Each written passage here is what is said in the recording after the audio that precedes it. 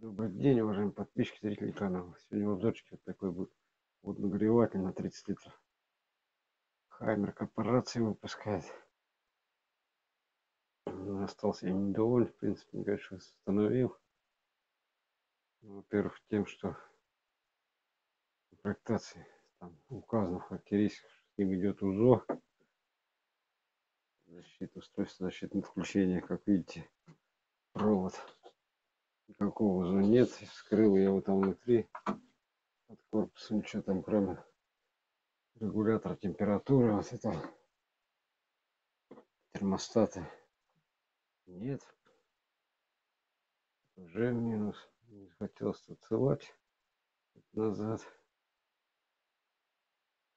Работает, как говорится. Но самое основное, что вот это крепление, у него, как видите, вот установлено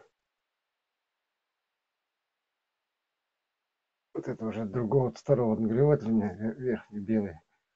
Ему родной идет короткая намного короче. Идет с двумя отверстиями сделаны под анкера. Здесь видите старые навески дверной. Выгнал навеску. Тому креплению который к ним идет навеска там не подгонишь так. Самое страшное у него точка упора нижняя видите которая там вот, вот стоит. Она слишком высоко рядом с креплением. Его прям вот даже пустой, он готов с этого анкера вылететь. Снимает его.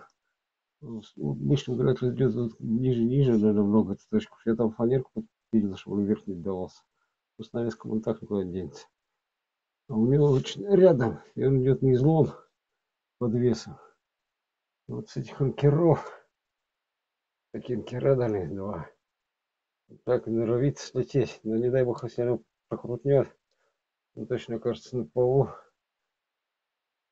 Такой мой отрицательный отзыв.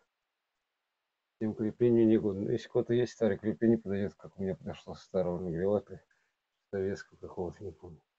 Два болта подошли как раз, и изгиб такой же. Вот, и за счет этого, можно сказать, я вывесил. Спасибо за просмотр, друзья. До новых встреч.